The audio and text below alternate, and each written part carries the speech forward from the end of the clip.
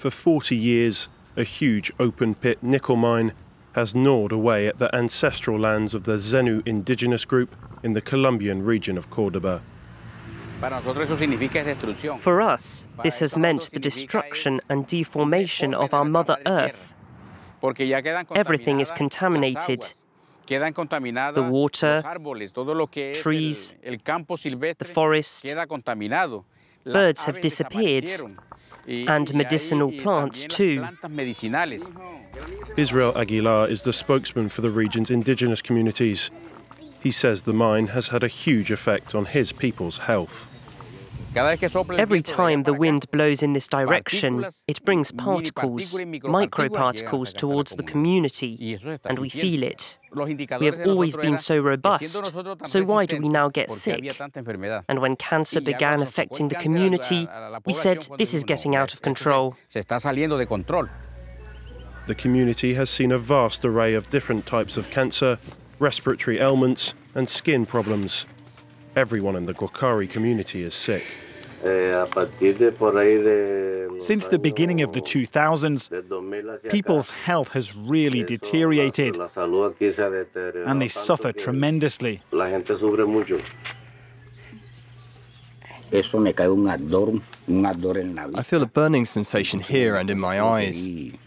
I had to go to a pharmacy to buy eye drops because my eyes burn and water. I've been like this a long time.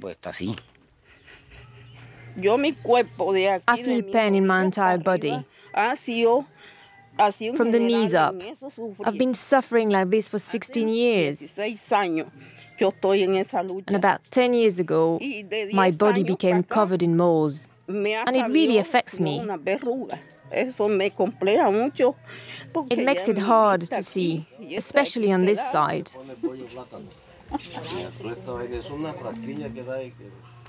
A decade ago, the Zenu community mobilized against the mine, blocking access to it. Thanks to the protests, they were given some financial assistance. Some 1,250 homes were built or renovated by the mining company. Yolanda was one of the beneficiaries. Two years ago, Cerro Matoso gave her a house. Look at this crack here. This house is only two years old. Yolanda lost her health. In return, she got a crumbling home. The walls are bare, and the sheet metal roof makes the tropical heat unbearable. They cheated us. They manipulated us. I'm sure they thought, We'll just give these Indians a house and they'll be grateful. But they don't know how much we've suffered. The mine extends over 85,000 hectares. The nickel is extracted from a vast crater and is processed into ferronickel on site. In 2022, more than 40,000 tons were produced in its ovens. Cerro Matoso es la principal productora de ferroníquel de América Latina. Desde 1982 hemos consolidado nuestra operación como una de las más seguras de Colombia. Not far from the mine site, Cerro Matoso set up its own health clinic managed by the company's non-profit foundation. There, members of nearby communities have access to free healthcare, but the diagnoses never point the finger of blame at Cerro Matoso. Through periodic checkups, we know how the health conditions of the community have evolved, and there is definitely no specific disease profile related to living near the Cerro Matoso mine.